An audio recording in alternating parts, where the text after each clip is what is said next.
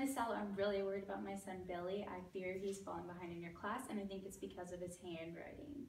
Yeah, I definitely agree that it's because of his handwriting, but luckily we do have an occupational therapist on our uh, school campus, and I think it'll be really beneficial for your son to meet with the therapist. So I'll see if I can get in touch with our OT and see if we can get some sessions going.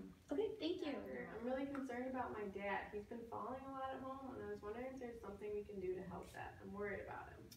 Yeah, so we could, um, I could get an occupational therapist to come out to the house and do um, environmental assessment and see if maybe it's because things are too close, furniture is too close, if he needs some grab bars or anything, um, and see if that would help make his home more of a safe environment for him and keep him independent at home. Discharged tomorrow, and I'm really worried about moving him on my own once we get home because he's not really strong enough yet. Do you have any suggestions for me?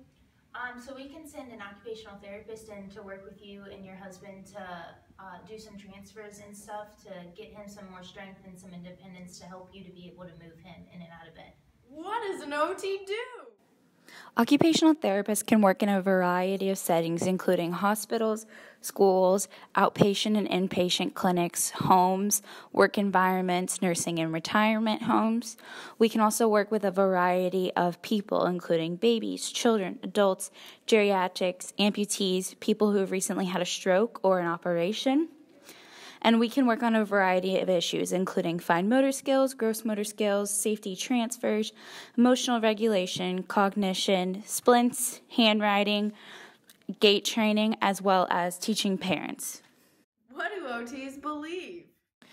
The philosophy of occupational therapy states that OT is based on the belief that occupations may be used for health promotion and wellness, remediation or restoration, health maintenance, disease and injury prevention, and compensation and adaptation.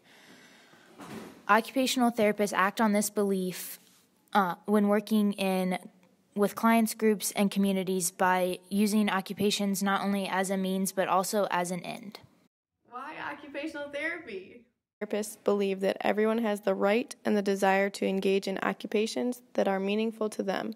These occupations bring meaning to their lives as well as the lives of the family and communities by allowing them to participate in society. Occupational therapists use seven core values as a guideline for their practice. They include altruism, equality, freedom, justice, dignity, truth, and prudence.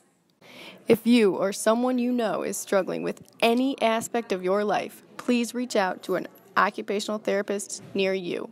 Thank you.